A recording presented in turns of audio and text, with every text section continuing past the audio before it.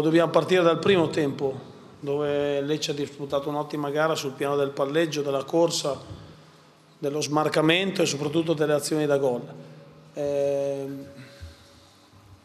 primo tempo la squadra meritava di essere in vantaggio perché gli avversari siamo riusciti a metterli come volevamo nel loro centrocampo, abbiamo avuto una buona occasione da gol con Gustavo e comunque la squadra ha attaccato con continuità, con propulsione, con movimenti. Il secondo tempo c'è anche l'avversario, l'avversario ha una grandissima caratura tecnica e soprattutto ha un grande mestiere non, la Serenità non ha in testa la classifica per caso, è una squadra che è molto difficile fargli gol e lo dovevamo fare solo con i movimenti offensivi.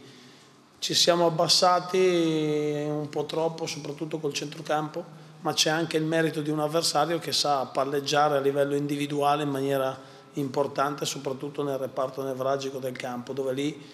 abbiamo pagato un po' le distanze, però nella prestazione bisogna valutare il computo delle occasioni da gol e dove gli avversari nello specchio della porta riescono a colpire una sola volta sull'abilità di Colombo e una disattenzione nostra sulla zona, sulla traiettoria palla. E questo ci fa masticare amaro perché il Lecce esce, battuto, esce battuto ma non meritatamente. E mm, nelle conclusioni da rete c'è quella del secondo minuto che è un rigore clamoroso. Trevisan la prende proprio con la mano e è chiaro che eh, diventano episodi importanti perché sarebbe stata una palla inattiva determinante come la Serenità ne è riuscita a battere molto bene su una palla inattiva. Poi